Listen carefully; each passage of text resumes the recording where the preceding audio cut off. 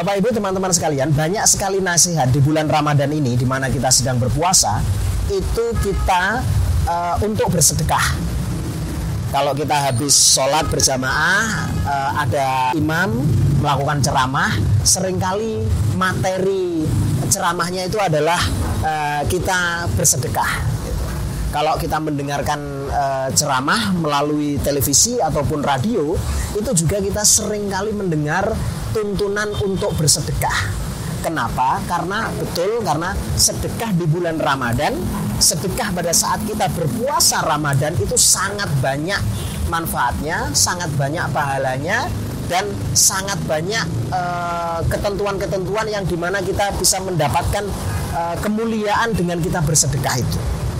Akan tetapi kalau kita pikir-pikir kesempatan kita bersedekah itu ternyata tidak terlalu banyak Salah satunya yang mungkin kita terjadi itu adalah kalau kita sholat berjamaah di masjid atau di musola, maka akan ada kotak ya yang berjalan.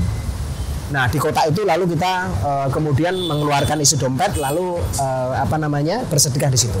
Atau pada saat kita pergi ke uh, masjid di mana kita uh, kemudian masuk ke apa tempat bersuci.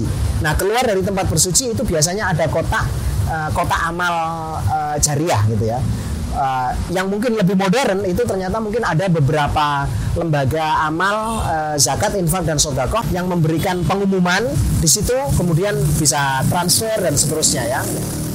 Nah, akan tetapi kalau kita berpikir soal e, bersedekah, itu ya kuncinya cuma itu. Ketika kita sedang beribadah, ada kota amal jariah, atau kita sedang bertemu dengan kerabat kita yang lebih membutuhkan kita bertemu dengan fakir miskin kita berikan makanan kita berikan uang untuk bersedekah akan tetapi saya mau kasih tips langkah-langkah kita untuk mempercepat, memperingan dan mungkin lebih simultan kita di dalam bersedekah itu sebenarnya kita juga e, bisa kita lakukan di luar kegiatan itu.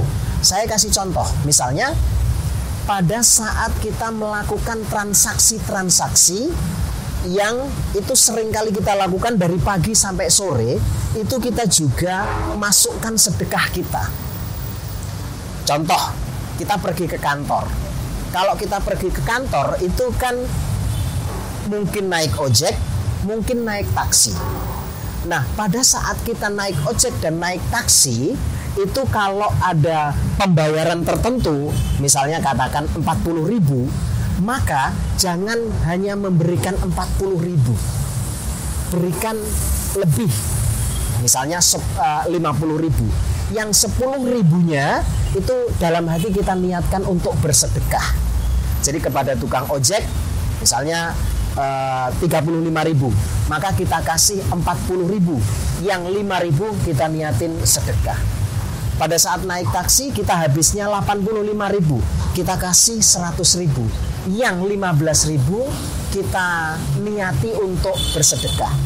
Termasuk juga kalau kita kemudian mungkin sedang uh, apa uh, beli makanan di pinggir jalan. Uh, kita kena macet lalu kemudian uh, kena azan maghrib.